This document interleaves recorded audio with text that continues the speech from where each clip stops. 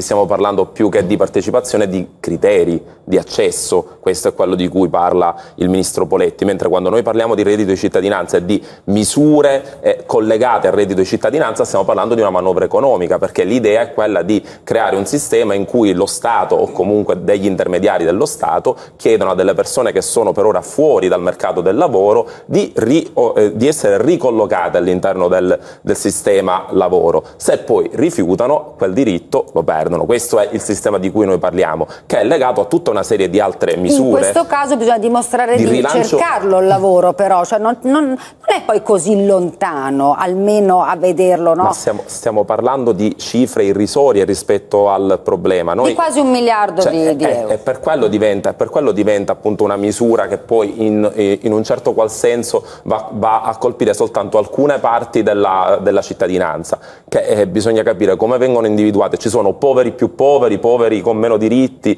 poveri che hanno, che hanno diritto all'accesso e poveri che no. Noi parliamo di 4 milioni e mezzo di base, che probabilmente sono di più. Abbiamo fatto una stima di circa 10 milioni di persone. Mi sembra mi sembra abbastanza eh, improponibile andare a lavorare soltanto su 800.000, un milione di persone, questo è il punto. Se vogliamo fare una misura di eh, inclusione sociale bisogna pensare a tutti, se no diventa una misura in cui qualcuno il, eh, si trova nella posizione di dover scegliere tra alcuni sì, alcuni no. Quel qualcuno può essere pure eh, un gruppo, un gruppo di diversi soggetti che vengono messi assieme, ma sempre si tratta di persone fisiche che dovranno scegliere tra alcune, alcune alcune parti della società ed escluderne altre. Invece credo che uno Stato che si voglia definire Stato nel 2016 all'interno, all'interno di un'Unione Europea in cui meccanismi del genere sono previsti da parte de, degli altri Stati membri deve pensare a tutta la popolazione che si trova in questa situazione di difficoltà.